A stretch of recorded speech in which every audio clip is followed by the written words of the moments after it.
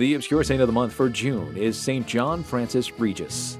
Born into a family of some wealth, John Francis was so impressed by his Jesuit educators that he joined the order at the age of 18. Following his ordination to the priesthood, he undertook missionary work in various French towns.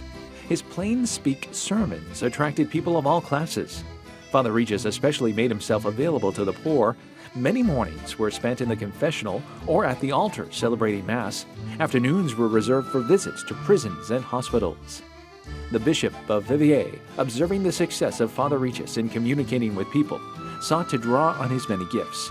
For three years, Father Regis traveled throughout the diocese, conducting missions in advance of a visit by the bishop. He succeeded in converting many people and in bringing others back to religious observances. Though Father Regis longed to work as a missionary among the North American Indians and Canada, he was to live out his days working for the Lord in the wildest and most desolate part of his native France. Meanwhile, he continued preaching missions and earned a reputation as a saint.